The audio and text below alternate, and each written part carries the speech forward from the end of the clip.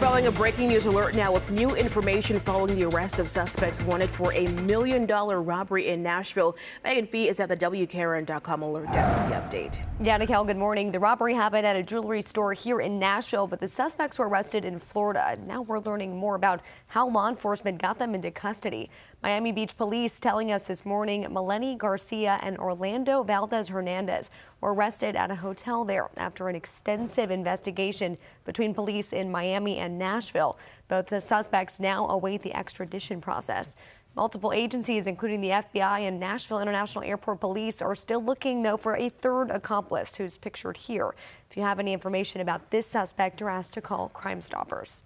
We also spoke with the owner of Dubai Jewelry on Nolensville Pike. He says he's glad that those two are in custody and hopes that the third will be arrested as the store is back open for business as usual.